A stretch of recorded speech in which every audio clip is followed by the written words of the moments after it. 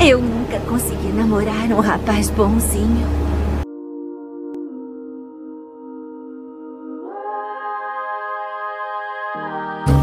A minha mãe sempre disse que o amor deveria nos libertar. Não é com você, Jack. Fui prisioneira do meu amor por você por um tempo muito longo. Bons sonhos, idiota. Talked to her, maybe did even worse. I kept quiet so I could keep you. Ai, mas que romântico. Ela não merece usar aquela aliança.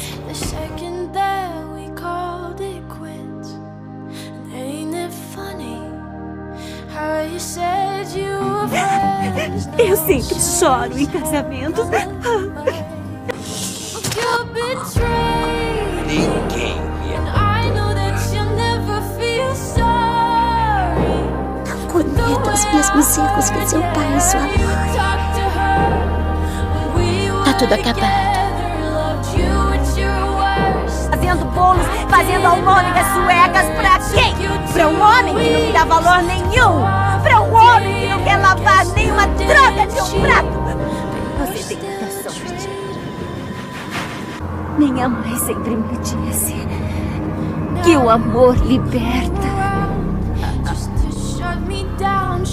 Então, não ia me pedir em casamento? Eu mudei. Mas você não muda. O que eu estava pensando? Hora de ir pra cama. Os caras legais já têm dor. Trata ela bem, Jess. Como é que é? Trata ela bem. Jamais subestime ela. É como a minha mãe vivia dizendo. A mulher passa o dia inteiro se acabando diante de um fogão quente para o homem. O mínimo que ele deve fazer é lavar os pratos. Ela é meio filósofa, minha mãe. Hum. Ah, ah, ah, ah. Fica de joelhos engatinhando. Mas... Eu não tô chateada. Tem uma coisa que eu nunca te disse sobre o Jack. Ah, se eu fosse você, não falaria assim do Jack. Ele tem um gênio muito ruim. Nós vivemos juntos há alguns anos. É claro que isso foi antes que a polícia matasse ele e também foi antes, antes que ele transferisse a alma para esse boneco aí. Nossa, como ele era ciumento. Quando alguém apenas olhava para mim, Jack dava um jeito nele. Não é mesmo, Jack? A gente ia se casar. Puxa, ele era um amante incrível. Foi o melhor amante da minha vida. Eu sei disso. Passei dez anos para te encontrar. Dez anos é muito tempo, Chuck. Aliás, eu nunca estive realmente com você. Você me conhece. Eu mato qualquer pessoa, mas só durmo com quem eu amo.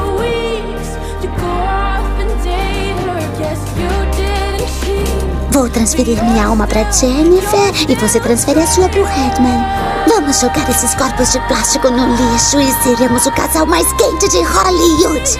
Minha mãe sempre me disse: uma vez é uma bênção, duas vezes uma maldição. Tá tudo acabado. Vou te deixando, Chuck. Eu vou levar a criança.